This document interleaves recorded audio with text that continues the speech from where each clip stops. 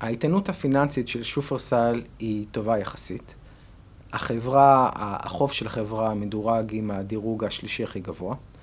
עכשיו, יש לציין שיש לחברה לא מעט חוב. מבחינת המינוף, שזה החוב יחסית להון, היא נחשבת יחסית ממונפת, שמשווים אותה לרשתות מזון בעולם.